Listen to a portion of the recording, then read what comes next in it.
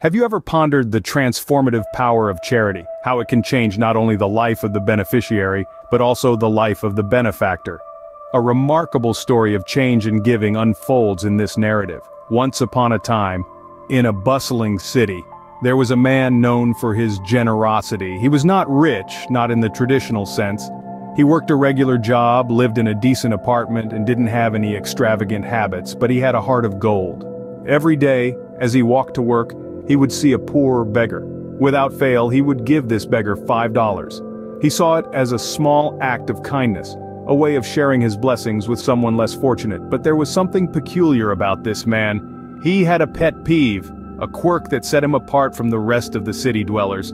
He couldn't stand littering, it irked him to see the city he loved covered in garbage, so every day, as he walked to work, he would also pick up any litter he encountered along the way.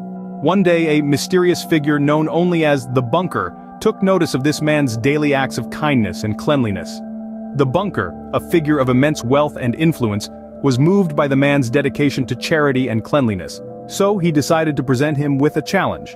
The Bunker offered the man a staggering sum of $912,837,465. But there was a catch.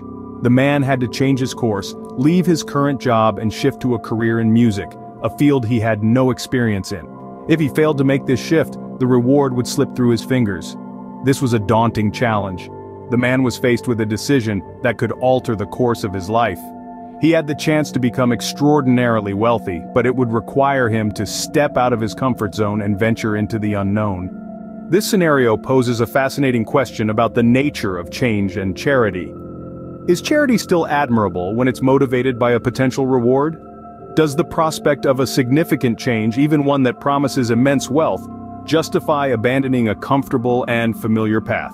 It also illustrates the potential implications of our daily actions.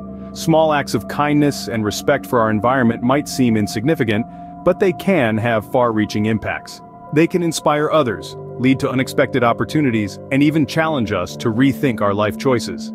In the end, the man's decision is a testament to his character. Regardless of whether he accepts the challenge or not, his daily acts of charity and cleanliness have already made a difference. They have touched the life of the beggar, improved the city, and inspired the bunker. And in doing so, they have proved that charity, change, and personal growth are intricately linked in the tapestry of life.